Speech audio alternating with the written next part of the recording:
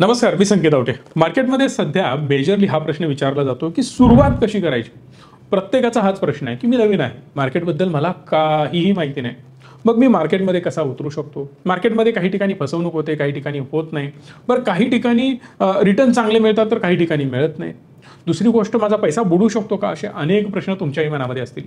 A to Z सगळ्या प्रश्नांची उत्तरे तुम्हाला या व्हिडिओच्या माध्यमातून मिळणार आहे त्यामुळे पहिला चॅनलला सबस्क्राईब करा बेलकॉनला प्रेस करा आणि अशाच नवनवीन व्हिडिओ पाहत राहा. कारण असे व्हिडिओज बनवण्यासाठी खूप जास्त आम्हाला एफर्ट्स घ्यावे लागतात. आणि मला खात्री आहे की तुम्ही अशा व्हिडिओना लाईक पण करता आणि मॅक्सिमम लोकांपर्यंत शेअर पण करता. सो मार्केटचं नॉलेज पहिलं आपल्याला असणं गरजेचं आहे. आता हे मार्केटचं नॉलेज कसं आपण घेऊ शकतो? तर वेगवेगळ्या माध्यमातून घेऊ शकतो. टप्प्याटप्प्याने आपल्याला पुढे जायचं आहे तर पहिला प्रश्न हा निर्माण होतो. Share market stock mutual fund हे सगळे प्रकार काय आहेत? हार्डली एका मिनिटात एक्सप्लेन करतो. बघा एखाद्या कंपनीला मोठ्या लेवलला स्केल करायचं आहे आता समजा माझ्याच कंपनीचं उदाहरण घ्या. माझ्या कंपनीचं नाव आहे rich me R I C H M double E जिथं येऊन तुम्ही गुंतवणूक करू शकता इन्व्हेस्टमेंट करू शकता म्युच्युअल फंडमध्ये स्टॉकमध्ये बरेच सगळे प्रोडक्ट आहेत. तुम्हाला कुठले स्कीम सूट होतात? कशा प्रकारे तुमची गुंतवणूक वाढेल? यावर आम्ही फोकस करतो. जर तुम्ही आमच्याकडे येऊन इन्व्हेस्टमेंट करत असाल आता हा व्हिडिओ बघताय म्हणून पण ज्या लोकांना आमच्या कंपनीबद्दल माहितीच नाही त्यांचं काय? सो त्यांच्यापर्यंत पण मला पोहोचायला पाहिजे. आता त्यांच्यापर्यंत पोहोचायचं म्हणजे परत ॲड करणं बॅनर लावणं प्रत्येक सिटीमध्ये माझे ऑफिसेस ओपन करणे हे सगळे प्रकार आले. आणि यासाठी काय लागतो? पैसा. आता हा पैसा जर मला उभा करायचा असेल तर मल्टिपल ऑप्शन माझ्याकडे आहेत. मी कोणाकडून मित्रांकडून घेऊ शकतो माझ्याकडून थोडंफार इन्व्हेस्ट करू शकतो. काही पैसा मी लोनच्या स्वरूपात घेऊ शकतो पण याच्या व्यतिरिक्त शेअर मार्केट स्टॉक मार्केट म्हणजेच इक्विटी मार्केट तिन्हीचा अर्थ एकच. इथून मी पैसा उभा करू शकतो. मी एक्सचेंजकडे जाईन N S C B S सीकडे जाईन मला पैशाची गरज आहे. आणि मी माझा आय पी ओ घेऊन येणार आहे. इनिशियल पब्लिक ऑफरिंग मी माझ्या कंपनीची हिस्सेदारी द्यायला तयार आहे. जसं की आपण पार्टनरशिपमध्ये एखादा बिझनेस उभा करतो ना तुझे पन्नास टक्के माझे पन्नास टक्के आपलं हे दुकान आता सुरू होईल. तुझे चाळीस टक्के माझे वीस टक्के त्याचे तीस टक्के असं करून वगैरे वगैरे दहा टक्के आणि कोणाला तरी देऊन चार पाच जण एकत्रित येऊन एखादं हॉटेल सुरू करतात. म्हणजे काय? त्यातून होणारं प्रॉफिट चाळीस टक्के एकाला मिळेल तीस टक्के एकाला मिळेल वीस टक्के एकाला मिळेल दहा टक्के एकाला मिळेल वगैरे वगैरे जसं तुम्ही प्लॅन केलाय त्याप्रमाणे ते होणार आहे. सेम गोष्ट इथं पण होते की मी माझ्या कंपनीला स्टॉक मार्केटमध्ये लिस्ट केलं. वेगवेगळ्या पद्धतीनं वेगवेगळ्या माध्यमातून माझं अर्निंग यातून होऊ शकतं. आता हे जे होणारं अर्निंग आहे हे अर्निंग माझं एकट्याचं नाही आहे. जेव्हा मी माझ्या कंपनीचे शेअर्स एखाद्या व्यक्तीला देतो तेव्हा तो माझ्या कंपनीचा मालक बनतो. माझं कर्तव्य बनेल की जे काही प्रॉफिट आहे मी त्याला द्यायला पाहिजे. जो काही डिव्हिडंट असेल त्याला द्यायला पाहिजे. जो काही बोनस असेल तो त्याला द्यायला पाहिजे. म्हणजे काय? जेव्हा तुम्ही एखाद्या कंपनीचे शेअर्स बाय करता तुम्हाला डिव्हिडंट मिळतो बोनस मिळतो. जसं त्या कंपनीची व्हॅल्यू वाढत जाईल. आता मी एवढ्या ठिकाणी ऑफिसेस ओपन करतो याचा अर्थ बिझनेस पण वाढणार ना? मग जर बिझनेस पण वाढत असेल तर ऑब्वियस आहे त्या कंपनीची व्हॅल्यू वाढणार शेअरची प्राईस वाढणार आपल्याला त्यामधून प्रॉफिट होणार. चांगल्या चांगल्या कंपन्यांचे शेअर्स आपण सिलेक्ट करून त्यामध्ये गुंतवणूक करू शकतो. यासाठी प्रॉपर तुम्हाला स्टॉकचा रिसर्च करावा लागेल शेअरचा रिसर्च करावा लागेल आणि त्यामध्ये गुंतवणूक करावी लागेल. कंपनी कुठली आहे कशी आहे किती मोठी आहे ती किती मोठ्या लेवलला आपलं काम करू शकते एक्सपान्शन चांगलं व्यवस्थित होऊ शकतं का प्रोडक्ट क्वालिटी चांगली आहे का या सगळ्या गोष्टीचा अंदाज घेऊन. साधा विचार करणार तुम्ही तुमच्या घरामध्ये लक्स साबण वापरताय कोलगेट वापरताय आता कोलगेट पामोलिव्ह नावाचा स्टॉक आहे पॅराशूट ऑइल वापरताय त्याची सुद्धा लिस्टेड कंपनी आहे. हिंदुस्तान युनिलिव्हर नावाची लिस्टेड कंपनी आहे ज्याच्या अनेक प्रोडक्ट तुम्ही वापरता. आय टी सी नावाची कंपनी जी लिस्टेड आहे त्याचे अनेक प्रोडक्ट आपण वापरतो. आता या कंपन्या जर वाटत असेल आपल्याला की पुढं पण चांगलं काम करू शकतात कारण अनेक वर्ष मी यांचे प्रोडक्ट वापरत आलो जर यांचे प्रोडक्ट जेन्युअनली चांगले असतील जर यांच्या प्रोडक्टमध्ये दम असेल तर हंड्रेड पर्सेंट मला लॉंग टर्ममध्ये त्या स्टॉकमधून पर्टिक्युलर इक्विटीमधून फायदा होणार आहे. कारण जर आज त्या कंपनीचे शेअर्स मी विकत घेऊन ठेवले आणि मी स्वतः माझ्या घरामध्ये ते प्रोडक्ट जर वापरतोय आणि मला वाटत असेल की यामध्ये दम आहे तर हंड्रेड पर्सेंट ती कंपनी पण वाढणार. जेवढी ती कंपनी वाढणार तेवढा मला फायदा होणार आहे. हे साधं सोपं सिंपल समीकरण आहे. आता हे जेव्हा मला कळणार तेव्हा मी याच्या पुढं जाऊन मल्टिपल ऑप्शन्स सर्च करायला सुरुवात करणार. काय काय ऑप्शन्स आहेत मार्केटमध्ये पहिलं ऑप्शन तुम्ही ट्रेडिंग करू शकता. ट्रेडिंग म्हणजे काय? आजच गुंतवणूक करणं आणि आजच मला त्यातून बाहेर पडणं. म्हणजे प्रत्येक सेकंदाला बाईंग सेलिंग या शेअर्समध्ये सुरू होतं. आपल्यासारखे लाखो करोडो लोक गुंतवणूक करत असतात. त्यामुळे शेअरची price up down up down होत राहते. कोणी ऐंशी रुपयाला बाय करेल कोणी एक्क्याऐंशीला करेल कोणी एकोणऐंशीला करेल कोणी बहात्तरला करेल पंच्याहत्तरला करेल शंभरला करेल. सो जसं जसं डिमांड वाढेल तसं तसं प्राईससुद्धा वाढेल. जसं जसं डिमांड कमी होईल तसं तसं शेअरची प्राईस कमी होत जाणार आहे. आता डिमांड कधी वाढणार? जेव्हा एखादी कंपनी स्ट्रॉंग आहे छान आहे सुंदर आहे परफॉर्मन्स बेस्ट आहे त्या केसमध्ये डिमांड वाढणार. जर एखाद्या कंपनीचा परफॉर्मन्स खराब आहे जर एखादी कंपनी खूप खराब परफॉर्म करते काहीतरी गडबड करते अशा कंपनीची प्राईस हळूहळू हळूहळू ड्रॉप होताना पाहायला मिळेल. या केसमध्ये होणार लॉस आणि जेव्हा वाढेल त्यावेळी होणार प्रॉफिट हे सिंपल लॉजिक आहे. बट बऱ्याच लोकांना असं वाटेल की मला यामध्ये इंटरेस्ट नाही आहे किंवा मला यामधली समज नाही आहे किंवा मला यासाठी वेळ द्यायचा नाही आहे अशा लोकांसाठी असतो म्युच्युअल फंड म्युच्युअल फंड म्हणजे काय? एखादा फंड मॅनेजर एक कंपनी एक A M C asset management company जशी की S B I H D F C I C I C I Bandhan Tata अशा वेगवेगळ्या ए एम सीज आहेत. ॲसेट मॅनेज करणाऱ्या कंपनी आहेत. तुमच्यासारख्या हजारो लाखो लोकांकडून हे लोक पैसे घेतात आणि तुमचा पैसा योग्य ठिकाणी योग्य त्या स्टॉकमध्ये गुंतवणूक करतात. या सगळ्यासाठी तुम्हाला डोकं लावत बसायची बिलकुल गरज नाही. कधी बाय करू कधी सेल करू कुठे एंट्री कुठे एक्झिट काही बघत बसायची गरज नाही. तुम्ही पैसे द्याल ते ऑटोमॅटिकली त्याला मॅनेज करतील. जसं की रिचमीच्या प्लॅटफॉर्मवरती सगळं होतं. बट यामध्ये एक मोठी सिस्टम असते. म्हणजे काय? त्यामध्ये रिसर्च करणारे लोक असतात. ॲनालिस्ट लोक असतात. मोठ्या प्रमाणात स्क्रीनर लावले जातात. मोठ्या प्रमाणात स्टॉक पिक केले जातात. परत त्याला चाळून म्हणजे काय? अनेक पॅरामीटर्समधून त्याला पुढं घेऊन गेलं जातं. म्हणजे काय? समजा हा मला माऊस बनवायचा आहे हा माऊस बनवण्यासाठी हा कॉम्प्युटर बनवण्यासाठी अनेक गोष्टींची गरज असते. वेगवेगळे पार्ट वेगवेगळे पार्ट मॅन्युफॅक्चरिंग करून परत ते असेंबल करून अशा वेगवेगळ्या प्रोसेसमधून हा पुढे जातो. सेम गोष्ट इथं पण होते. मोठी टीम असते ते अनालाइज करते रिसर्च करते तिथून तो हळूहळू हळूहळू पुढे जात असतो.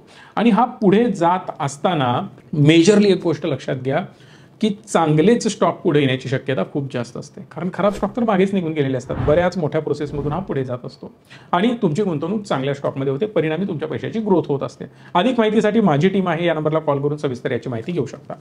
पण जर तुम्हाला ॲक्टिव्हली काहीतरी करायचं आहे जसं मी स्वतः ट्रेडिंग पण करतो मी शिकवतो लोकांना कशा प्रकारे मार्केटमधून दररोज पैसा कमवू तुम्ही शकता याच्याबद्दल नॉलेज प्रोव्हाइड करतो. हे काम कोणाचं आहे? माझं आहे. मग याचं नॉलेज सुद्धा मी तुम्हाला देतो. दॅट इज कॉल्ड ट्रेडिंग आत्ताच गुंतवणूक करणं थोड्या वेळात एक्झिट करणं. आज मला वाटतं हा स्टॉक शंभर रुपयावरून दीडशे रुपयाला जायला पाहिजे. रिझन काय? आज मला वाटतं हा स्टॉक पाच हजार रुपयांचा पाच हजार दोनशेला जायला पाहिजे. हा दोनशेनी वाढेल हा पन्नासनी वाढेल हा वीसनी वाढेल हा दहानी वाढेल. याच्या मागं काहीतरी रिझन असणार आहे. याच्या मागं रिझन असणार आहे की वेगवेगळ्या कंपन्यांचे वेगवेगळ्या प्रकारे चालत असलेले बिझनेस एखाद्या कंपनीचं आज प्रॉफिट वाढलं. एखाद्या कंपनीनं आज खूप मोठी काहीतरी ऑर्डर मिळाली. एखादी कंपनी नेक्स्ट लेवलला एक्सपान्शन करायचं ठरवते. वेगवेगळ्या पद्धतीनं वेगवेगळ्या कंपन्या मॅनेज केल्या जातात आणि त्याचा फायदा त्या कंपन्यांना लॉंग टर्ममध्ये होत असतो. आणि या सगळ्यामुळे आपल्या स्टॉकची प्राइस वाढत असते. परिणामी मी लगेच एंट्री घेईन आणि लगेच त्यामधून एक्झिट करेन. म्हणजे मी शंभर रुपयाला घेतला एकशे दहाला विकला दहा टक्के profit that is called trading पण यासाठी प्रॉपर शिकणं नॉलेज घेणं व्यवस्थित शिकून त्यामध्ये एंट्री घेणं गरजेचं असतं. आणि ॲक्टिव्हली तुम्हाला ते मॅनेज करावं लागतं. तुम्हाला बसावं लागेल असं समोर कॉम्प्युटर ठेवावं लागेल. बाय सेल कुठे एंट्री घेणार कुठे एक्झिट घेणार कशा प्रकारे मुवमेंट येतात एक आणि एक गोष्ट तुम्हाला ट्रॅक करावी लागेल. पण जर याच्या एक्झॅक्ट अपोजिट इन्व्हेस्टिंग तुम्ही करत असाल जसं आपण बघितलं म्युच्युअल फंडमध्ये आपण करतो की आज इन्व्हेस्टमेंट केली सोडून दिली. ॲक्टिव्हली ते लोक मॅनेज करतात व्यवस्थित माझा पैसा वाढत राहतो मला टेन्शन नाही. पण सेम गोष्ट आपण स्टॉक मार्केटमध्ये पण करू शकतो. म्हणजे काय? दहा कंपन्या मला आवडतात. छान वाटल्या. मी ॲनालिसिस केलं प्रोडक्ट बघितले फंडामेंटल चेक केले बॅलन्स शीट चेक केली कंपनी कसं परफॉर्म करते हे बघितलं. प्रोडक्टमध्ये दम आहे प्रोडक्टच्या भविष्यामध्ये त्याला दम मला दिसतो. या सगळ्या गोष्टी बघून मी स्टॉक लॉंग टर्मसाठी होल्ड करतो. लॉंग टर्म म्हणजे काय? आज मी बाय करणार दोन वर्ष चार वर्ष पाच वर्ष दहा वर्ष विकणारच नाही. So that is called long term investment एकदा का मी पैसा टाकला तर तो मी निवांत होल्ड करून बसणार. मी सारखं बाईंग सेलिंग करत बसणार नाही तेवढा माझ्याकडे वेळ पण नाही. अशी एक वेगळी कॅटेगरी येते दॅट इज कॉल्ड इन्व्हेस्टमेंट आता सिंपल एक गोष्ट लक्षात घ्या. जेव्हा जेव्हा मार्केटमध्ये तुम्हाला गुंतवणूक करायची असते तेव्हा तेव्हा मला एक वॉरन बफेट साहेबांचा नियम लक्षात येतो किंवा एक कोट लक्षात येतो. जेव्हा इतर सगळे घाबरलेले असतात इतर सगळे फिअरफुल असतात तेव्हा तुम्हाला ग्रीडी बनायचं आहे थोडंसं लालची बनायचं आहे म्हणजे काय? आत्ता बरोबर तुम्हाला गुंतवणूक करायची. सगळे घाबरतात म्हणजे काय? विकून माल बाहेर पडत असतात. जेव्हा मॅक्सिमम लोक माल विकून बाहेर पडणार तेव्हा स्टॉक खाली येणार. जर स्टॉक खाली आला याचा अर्थ काय? एखादी वस्तू आपल्याला स्वस्त मिळते. आपण नेहमी विचार करतो एखाद्या मॉलमध्ये गेल्यानंतर अरे यार इथं ऑफर चालू आहे. Buy one get one free पन्नास टक्के प्राईसला मला मिळेल. अरे याच्यावर तीस टक्के डिस्काउंट चालू आहे. हा बाय करूया. म्हणजे काय? डिस्काउंटेड प्राईस व्हॅल्यू इन्व्हेस्टिंग याला टेक्निकल टर्ममध्ये म्हटलं जातं. योग्य लेवलला योग्य. स्टॉक योग्य त्या वेळेला बाय करणं. दॅट इज कॉल्ड सगळे घाबरलेले असतात आणि आपण त्यावेळी त्याचा फायदा घेणं. बट जेव्हा इतर सगळे ग्रीडी झालेले असतात तेव्हा आपल्याला थोडंसं सावध राहायचं आहे म्हणजे काय? प्रत्येकाला वाटत असतं आता मार्केटवर जाते वर जाते पैसा टाकूया पैसा टाकूया. कोणी सोम्या गोम्या उठतो पैसा टाकायला लागतो.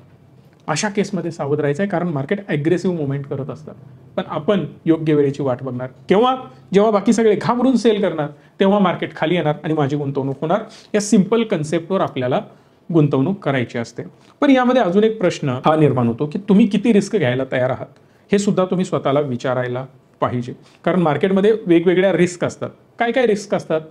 की जेव्हा जेव्हा काही खराब न्यूज येतात जसं रशिया युक्रेन वॉर झाला कोविड आला अशा केसेसमध्ये मार्केट खाली येतं. मार्केट खाली आल्यावर काय करायचं? गडबड आहे ना? कारण होतं असं माझी शंभर रुपयांची वस्तू डायरेक्ट आज त्याची किंमत पन्नास रुपये होते. पन्नास टक्के पैसे गेले. शंभर रुपयाची वस्तू नव्वद रुपयाला येते. टेन पर्सेंट लॉस तुम्हाला दिसणार. बट हा अनरिअलायझेड लॉस असतो.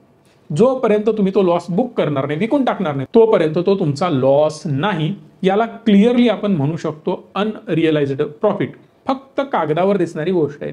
जेव्हा मी त्याला विकणार तेव्हा त्याला म्हणायचं खरा झालेला लॉस बट आत्ता मला तो दिसत नाही आहे मला तो होत नाही आहे मी त्याला बुक करणार नाही आहे मी बघत राहणार आहे. In this case no problem निवांत तुम्ही होल्ड करू शकता. पण याच्यापुढे अजून काही गोष्टी असतात. जाणून बुजून मार्केटमध्ये काही लोक मार्केटला अप अँड डाऊन करण्याचा प्रयत्न करतात. पंप अँड डम्प काही खराब क्वालिटी स्टॉक ज्याच्यामध्ये दम नाही त्याला पंप करायचं बाय करायचं वर घेऊन जायचं मोठ्या प्रमाणात सेल करायचं दुसऱ्यांना बाय करायला लावायचं त्यांना अडकवायचं आणि मार्केट खाली आणायचं. आता हे सगळ्या स्टॉकमध्ये होत नाही. त्याचे फंडामेंटल वीक आहेत खराब आहेत. जाणून बुजून काही लोक इंटेन्शनली हे करतायत. तर त्या केसमध्ये होऊ शकतं. पण माझ्या मताप्रमाणे तुम्हाला यामध्ये बिलकुल घाबरण्याची गरज नाही. जेव्हा तुम्ही क्वालिटी चांगल्या स्टॉकमध्ये गुंतवणूक करता तेव्हा. सो ऑपरेटर गेम हे चालत राहणार प्रत्येक क्षेत्रामध्ये तुम्ही राजकारणात या बिझनेसेसमध्ये या कुठेही जा असे काही लोक तुम्हाला भेटणारच. बरं याचा डायरेक्ट परिणाम तुमच्यावर होतो का? काही फरक पडत नाही आहे होतं. म्हणजे थोडंसं अप अँड डाऊन त्या स्टॉकमध्ये होऊ शकतो. शॉर्ट टर्मसाठी मी त्या स्टॉकमध्ये लॉंग टर्मसाठी इन्व्हेस्ट केलेला आहे. त्यामुळे मला बिलकुल भीती नाही. मग ऑपरेटर येऊ पंप अँड डम हो किंवा काही मोठे क्रायसिस येऊ किंवा ग्लोबल काही रिझन असो दुसऱ्या देशामध्ये युद्ध झालं आपलं मार्केट थोडंसं खाली येतं. पण जेव्हा जेव्हा मार्केट खाली येतं तो आपल्यासाठी संधी देतो. अजून थोडासा पैसा ऍड करून टाकायचा. तो आपला फायदा होणार आहे. त्यामुळे किती रुपयांची रिस्क आपल्याला परवडू शकते हे थोडंसं आपल्याला माहिती असायला पाहिजे. जर मी मार्केटमध्ये गुंतवणूक करतोय तर किती रुपयांची मी रिस्क घेणार आहे? रिवॉर्ड किती मला पाहिजे? हे थोडंसं डोक्यात ठेवून तुम्ही मार्केटमध्ये यायला पाहिजे. जेणेकरून एक छोटासा इमर्जन्सी फंड योग्य त्या असेट क्लासमध्ये पण आपण इन्व्हेस्ट करू शकतो. बघा अमेरिकेमध्ये मॅक्सिमम लोक मार्केटमध्येच गुंतवणूक करतात. कारण तिकडे इंटरेस्ट रेट कमी आहेत. आता भारतामध्ये सुद्धा सात आठ टक्के इंटरेस्ट रेट मिळतो. पण हा कमी आहे. पुढे जाऊन हा अजून कमी होणार आहे राईट कारण सहा टक्क्यावर गेला होता परत थोडासा वाढला. आता परत आणि डाऊन हळूहळू रेट कट झाल्यामुळे खाली येईल. पण महागाई कितीनं वाढते? काही सेक्टरची महागाई दहा दहा वीस वीस पंचवीस टक्क्याने वाढते. फळभाज्या चोवीस टक्क्याने इन्फ्लेशन आहे. त्याचबरोबर food inflation more than ten percent आहे. जर तुम्ही मेडिकल सेगमेंटमध्ये बघितलं मेडिकल सेक्टरमध्ये बघितलं तर तिथे इन्फ्लेशन जवळपास चौदा टक्के प्लस आहे. म्हणजे आज जी औषधाची बाटली मी शंभर रुपयाला घेतोय ती पुढच्या वर्षी एकशे चौदा आयडियली असण्याचे चान्सेस आहेत. कारण चौदा टक्क्यानं महागाई वाढते. पण तुमचा इन्कम त्या गतीनं वाढतोय का? नाही. मग त्या गतीनं इन्कम वाढवण्यासाठी गुंतवणूक आपली स्टॉक मार्केटमध्ये असणं गरजेचं आहे. अदरवाईज जे सहा सात टक्क्यानं वाढतंय ना त्याचा काहीही फायदा होणार नाही. किमान आपण महागाईला बीट करायला पाहिजे. जर आपला पैसा महागाईपेक्षा जास्त वाढत नसेल तर तुम्हाला पुढे जाऊन खूप मोठे प्रॉब्लेम होणार आहेत. तुम्ही अननेसेसरी क्रायसिसमध्ये फसत जाणार आहात. मोठ्या अडचणीत फसत जाणार. कारण प्रत्येक वेळी आपण जे म्हणतो ना की मंथ एंडला पैसेच शिल्लक राहत नाहीत. ती सेम सिच्युएशन कायम मेंटेन राहणार. त्यासाठी गरजेचं आहे चांगल्या ॲसेट क्लासमध्ये गुंतवणूक असणं. म्हणून एक इमर्जन्सी फंड मी बाजूला काढला. इमर्जन्सी फंड म्हणजे काय? समजा मला एक्स वाय झेड अमाऊंट गरजेची आहे आणि ती कधीही लागू शकते. मग त्याच्यासाठी वेगवेगळे ऑप्शन्स आहेत बरं का. तुम्ही त्याची गुंतवणूक कुठे करू शकता? एफ डीमध्ये करू शकता. डेट फंडात करू शकता. डेट फंड पण वन ऑफ द बेस्ट आणि स्मार्टेस्ट ऑप्शन आहे. लिक्विड फंडमध्ये करू शकता. जेणेकरून तुम्हाला कधीही काढता येईल. आणि त्याला इंटरेस्ट पण मिळत राहील. एक छोटीशी अमाऊंट ही झाली इमर्जन्सी फंड बाकी सगळी अमाऊंट आपण गोल एक ठरवायचं. की मला घर गाडी बंगला या अशा सात आठ गोष्टी पाहिजे किंवा सगळं जाऊ देऊ मला एक दोन कोटी रुपये हवेत. मला एक पन्नास लाख रुपये हवेत. मला एक पंचवीस लाख रुपये हवेत. प्रत्येकाचं व्हिजन प्रत्येकाचं मिशन प्रत्येकाचं गोल हे वेगळं असतं. आणि त्या अँगलनी जेव्हा तुम्ही विचार करता तुम्ही जेव्हा गोल ठरवता तेव्हा आपण त्याचं रिव्हर्स इंजिनिअरिंग रिव्हर्स कॅल्क्युलेशन करायचं. एक कोटी पन्नास लाख पंचवीस लाख तीस लाख वीस लाख काही गोल असू शकतं. पन्नास कोटीचं असू शकतं. आता तुम्ही म्हणाल अहो माझ्यासाठी पन्नास कोटी. नाही आहे राहू दे. पण कोणाचं तरी असेल ना. बरं या गोलपर्यंत पोहोचण्यासाठी आत्तापासून मला काय करावं लागेल? सोपं गणित आहे. हे कॅल्क्युलेशन करून इन्व्हेस्टमेंट करायला सुरुवात करायची. कारण जोपर्यंत आपल्याला माहितीच नाही मला पोहोचायचं कुठं आहे तोपर्यंत तुम्ही कसं ठरवणार? टू व्हीलरने जायचं की फोर व्हीलरने? पेट्रोल किती लागणार? इम्पॉसिबल आहे. पैसे किती लागणार खर्च किती होणार हेच माहिती नसणार आहे ना. सेम गोष्ट इथं ॲप्लिकेबल होते. अहो जोपर्यंत तुम्ही ठरवणार नाही तुम्हाला नेमके रिटर्न किती पाहिजेत कशा प्रकारे तुमचा पैसा वाढला पाहिजे कशा प्रकारे तुम्ही मॅनेजमेंट करणार आहात तोपर्यंत कुठल्याही गोष्टीचा फायदा तुम्हाला होणार नाही आहे एकदा काही या सगळ्या गोष्टी तुम्ही फायनल केल्या. बाकी काहीच टेन्शन नाही.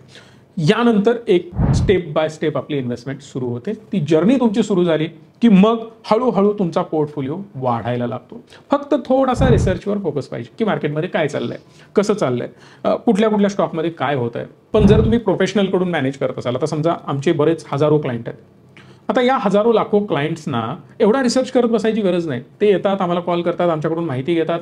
ऑफिसला येतात कोल्हापूरमध्ये राजारामपुरीमध्ये ऑफिस आहे आपलं. R I C H M double E Richmee जरी तुम्ही गुगलला सर्च केला तरी मॅपवरून तुम्ही येऊ शकता. कॉलवरून ऑलमोस्ट सगळ्या गोष्टी होतात. येण्याची पण गरज नाही. ऑल ओव्हर इंडिया आणि फॉरेनचा तर खूप मोठा क्लायंट बेस आमचा आहे. मग या सगळ्या लोकांना डोकं लावत नसायची गरज नाही. आणि मार्केटमध्ये काय होतं? कुठे जाते मार्केट आत्ता मार्केट वर आहे की खाली आहे? कुठल्या कुठल्या स्टॉकमध्ये मी गुंतवणूक करू? माझ्यासाठी कुठला बेस्ट असेल? तुम्हाला डोकं लावायची गरज नाही. हे सगळं कोण करणार? आम्ही करणार. आणि त्यामुळे यामध्ये तुम्हाला काहीही रिस्क नसते. एकदा का तुम्ही टेन्शन फ्री झालात आणि योग्य ठिकाणी योग्य प्रकारे गुंतवणूक चालू केली की तुमचा फोलिओ मोठा व्हायला रिकामा. यानंतरचा प्रश्न हा निर्माण होतो की पोर्टफोलिओमध्ये साहेब स्टॉक किती असायला पाहिजेत? म्हणजे मी दहा स्टॉक बाय करू वीस करू शंभर करू दीडशे करू की दोनशे कंपन्या बाय करून ठेवू? दोनशे कंपन्या केल्या तर जास्त चांगलं होईल का? किंवा एकच कंपनी मी बाय करून ठेवली आणि ती एकच कंपनीवर माझं कन्व्हिक्शन असेल ती जास्त वाढली तर माझा पैसा किती पटीनं वाढेल? एक सिंपल लॉजिक लक्षात घ्या. कधीही सगळा पैसा एकाच ठिकाणी ठेवायचा नाही. म्हणजे काय? एकत्रित एका बकेटमध्ये सगळी अंडी ठेवायची नाही. एक फुटत गेलं किंवा बकेट पडलं सगळी अंडी फुटणार. सडका आंबा नासका आंबा पेटीमध्ये ठेवायचा नाही. सोपं गणित आहे. सो या लॉजिकवरच आपल्याला काम करायचं असतं. म्हणजे काय? समजा एखादी कंपनी खराब आहे किंवा फंडामेंटली स्ट्रॉंग नाही काढून टाकली पाहिजे. त्याला रिप्लेस केलं पाहिजे. एखादी कंपनी खूपच चांगली आहे म्हणून त्यात खूपच पैसा लावणं एकदम चुकीचं आहे. डिवाइड करूनच पैसा तुम्हाला इन्व्हेस्ट करायला पाहिजे. समजा तुम्हाला वाटतं की मला एक दहा लाख रुपये इन्व्हेस्ट करायचे दहा स्टॉक मी निवडले प्रत्येक स्टॉकमध्ये एक एक लाख रुपये टाकून दिले. बस रिस्क कमी झाली. एखादी कमी झाला एखादा खूपच वाढला सगळ्या गोष्टी व्यवस्थित मॅनेज होत जातात. जेणेकरून तुम्हाला रिटर्न चांगले मिळतात. ही इम्पॉर्टंट गोष्ट झाली. नंतरचा प्रश्न हाच निर्माण होतो. मार्केट बुडलं तर पैसा झिरो झाला तर स्टॉक झिरो झाला तर आमचे पैसे घेऊन कोणीतरी पळवून गेलं तर? हे सगळे प्रश्न डोक्यामध्ये येतात. याची सिक्युरिटी काय? गॅरंटी काय? आणि तो वाढेलच. हे कशावरून? गेला नाही तर कशावरून? बघा वन बाय वन गोष्टी क्लिअर करतो. समजा पहिला तुम्ही म्युच्युअल फंडमध्ये गुंतवणूक करताय. म्युच्युअल फंडमध्ये गुंतवणूक करताय. त्याच्या आधी एक उदाहरण दुसरं पण देतो. समजा तुम्ही एफ डी करताय. जर तुम्ही एफ डी केली तर मला एक सांगा. एफ डीतला पैसा गॅरंटीड तुम्हाला परत मिळणार आहे का हो? ती बँक बुडाली तर? ती पतसंस्था बुडाली तर पैसे परत मिळतात. बिलकुल नाही मिळत. समजा तुम्ही पन्नास लाख रुपये एखाद्या बँकेमध्ये एफ डी केली आहे आणि ती बँक बुडाली. पैसा तुमचा बुडाला. खलास. याच्यापेक्षा वेगळं काहीच नाही. जर तुम्ही पतसंस्था वगैरेमध्ये गेलात तर ते हेवी रिस्क असते. त्याच्याबद्दल मला जास्त बोलायची गरज पण नाही आहे हंड्रेड पर्सेंट याच्याबद्दल मला खात्री आहे आणि तुम्हाला पण चांगलीच खात्री आहे की पतसंस्थामध्ये पैशाचं काय होतं. पण बँकेमध्ये पण तुम्हाला कळालं. एक पाच लाखाची सिक्युरिटी मिळते पण ती कशी मिळते काय मिळते आणि सरकारी काम कसं चालतं हे मी बोलायची गरज नाही आहे अननेसेसरी पैसे लॉकिनमध्ये पडतात फेऱ्या मारावे लागतात बरीच वर्ष ती भानगडीत चालत राहतात. आता डी एस केमध्ये वगैरे ते सगळे प्रकार झालेत. लोकांनी जीव दिलेत अक्षरशः. म्हणजे खायला अन्न नव्हतं. सगळा रिटायरमेंटचा पैसा टाकला होता. दवाखान्यासाठी पैसे नव्हते मुलांच्या लग्नासाठी पैसे नव्हते. खूप खडतर परिस्थितीत लोकांनी जीवन जगलेले आहेत. जेव्हा डी एस के सारखी कंपनी असेल येस बँकेने मध्ये धोका दिला होता. तीन तीन चार चार वर्ष पैसा अडकला होता. पंजाब नॅशनल बँकेमध्ये पैसा अडकलेला होता. बुडलेल्या बँका अनेक मी उदाहरणं देऊ शकतो.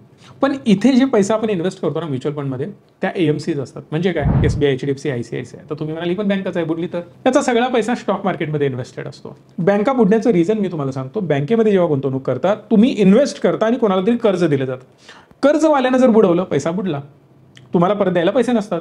सेम गोष्ट इकडे होत नाही. तुमचा पैसा इन्व्हेस्ट केला जातो स्टॉकमध्ये स्टॉक मार्केटमध्ये इन्व्हेस्ट केल्यामुळे शंभर दीडशे दोन दोनशे स्टॉक ह्या कंपन्या बाय करतात. पन्नास पन्नास स्टॉक बाय करतात. चला एका दुसरी कंपनी बुडाली. तरी फरक पडत नाही कारण बाकीच्या कंपन्या अग्रेसिव्हली वाढलेल्या असतात. आता जेव्हा सगळ्या कंपन्या बुडतील देश असेल का हो स्टॉक मार्केटमध्ये H D F C I C I C I Reliance टाटांच्या बिर्लांच्या सगळ्या कंपन्या आहेत.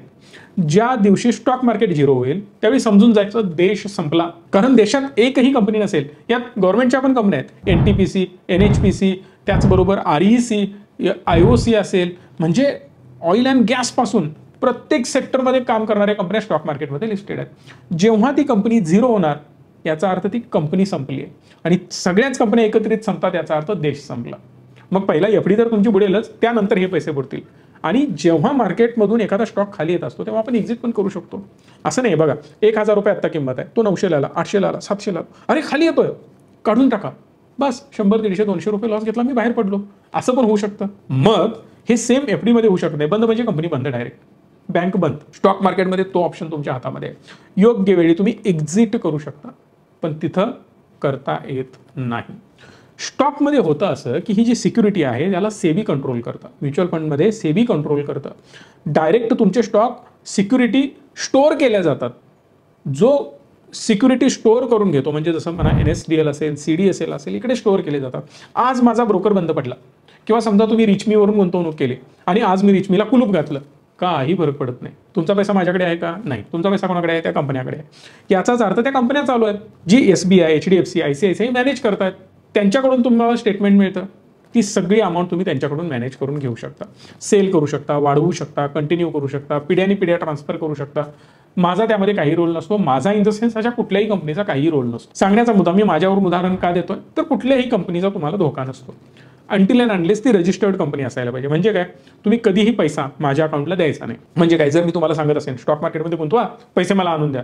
That is clearly fraud case बरेच तुमच्या जवळचे लोक नातेवाईक येत असतील की अरे मी महिन्याला तीन टक्के देतो पाच टक्के देतो. ते सगळे फ्रॉड आहेत. जर तुम्हाला प्रॉपर इन्व्हेस्टमेंट करायचे असेल तर तो पैसा तुमच्या अकाउंटला राहायला पाहिजे. तुम्ही ते ट्रान्सफर करायला पाहिजे. तुम्हाला त्याकडे दिसायला पाहिजे. सेल कराल तेव्हा मिळायला पाहिजे. बाय कराल तेव्हा वाढायला पाहिजे. हे सिंपल गणित चालायला पाहिजे. तेव्हा ते सिक्युर्ड असतं. आणि एवढी सिक्युरिटी मी सांगतोय तुम्हाला जगात कुठल्याही सिक्युरिटीला नाही आहे कारण तुमचा एक आणि एक रुपया एकदम स्ट्रॉंग हँड्समध्ये असतो आणि सेफ असतो. तो कधीच बुडू शकत नाही. हे आहे मार्केटचं सगळं नॉलेज मदत हवी असेल तर आम्ही आहे. व्हिडिओ कसा वाटला हे मला सांगू शकता. तुमचे प्रश्न जर काही असतील मला कमेंट बॉक्समध्ये विचारा. मी पुढच्या सेशनमध्ये तो कव्हर करेन. व्हिडिओला लाईक शेअर आणि चॅनलला सबस्क्राईब करा. धन्यवाद. Stay tune and stay positive